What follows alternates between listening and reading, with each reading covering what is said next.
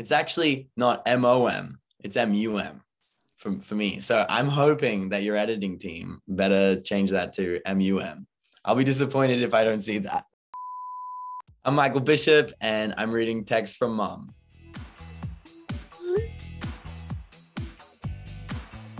Oh no. Let's see. Most recent text that I have from her is from last night. It's kind of exposing myself, but it's fine.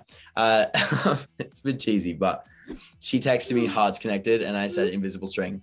Basically, what that is, is when I was little, um, I I was always scared to go to sleep. Like I was scared of the dark. And I remember my mom told me that she was like, you don't have to be worried like when you're going to sleep because like our hearts connected with like a little invisible string. So like you have to you can always feel like I'm right there and stuff like so yeah, I still text we we still do that exchange. She till, still tells me that every every time I go to sleep. So last night I have a text from her saying hearts connected and I wrote invisible string. Yeah. I just have like four missed calls from her. And then I'm just like, sorry, one sec, we'll call you back. And I don't think I ever called her back. That's not good. I should, I should, I should be on top of that. I have a photo that she sent me.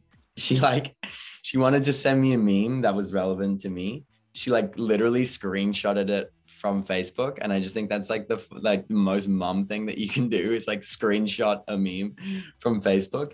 And basically, this is the photo, and I'll give you context.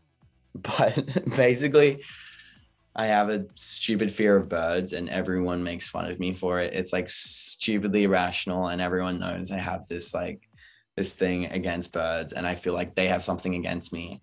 In Australia, we have magpies, and they are like the scariest thing to exist. They're like an Australian's like worst enemy. And they've like swooped me multiple times and I swear they're against me.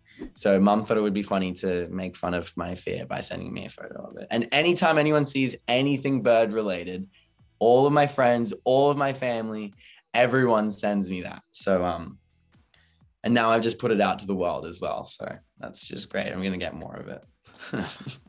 uh, I think I didn't reply on purpose. I was probably trying to make a statement. I have a text from her that says, I think this is kind of funny because she does this all the time, but she just texted me like, tell Hayden happy birthday. Hayden's my cousin. And so like every time someone's birthday or like I need to like tell someone something or whatever, she always reminds me. So literally instead of having a reminder, I just get my mom to text me when someone's birthday is and then I know to text them. I feel bad now for Hayden because he's going to be, if he watches this, he's going to know that I didn't know when his birthday was. she texted me, um, Can you pick Riley up from school? Riley's my little brother. And I just wrote, Nope.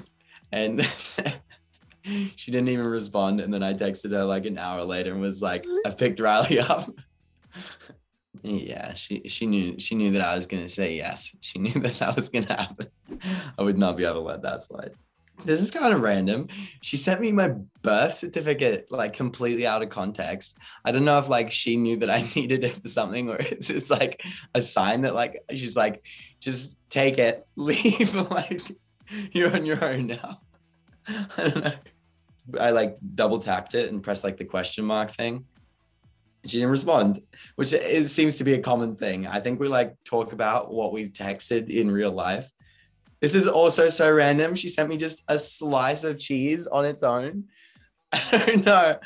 Oh man, the the things that me and mum send to each other stupid. I love it. Be sure to tune in to Spin on August 13th on Disney Channel.